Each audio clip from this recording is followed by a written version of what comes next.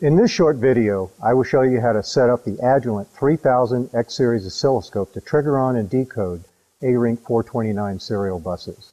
The first step is to probe the differential ARINC bus. Agilent recommends using the N2791A 25 MHz differential active probe. Let's begin. Here we show an ARINC 429 differential signal using the scope's default setup condition. To decode this bus, First press the serial front panel key and then select the ARINC 429 decode mode. Then press the signal soft key.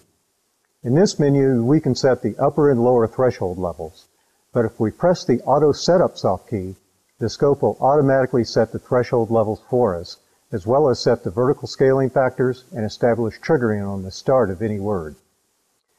First of all, note the fast decode update rate shown below the waveform. This is possible with Agilent's unique hardware-based decoding. To establish a more unique trigger condition, press the scope's front panel trigger key, and then change from triggering on word start to label. We can then dial in the specific label value that we want to trigger on.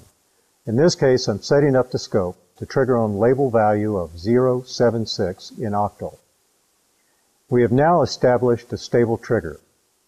Below the waveform, you can see the time-correlated decode trace showing the various fields within each word, including the label value in octal, the 2-bit SDI code in binary, followed by the data field in hex, and finally the 2-bit SSM code, also in binary. Note that the next word shows a gap error. This scope's ARINC 429 option automatically detects and can trigger on various types of errors, including gap errors, parity errors, and word errors. In addition to viewing the time-correlated decode trace that you see below the waveform, we can also view the same information in a tabular format with clearly labeled columns of data that directly correlate to the fields of decoded data shown in the time-correlated decode trace below the waveform.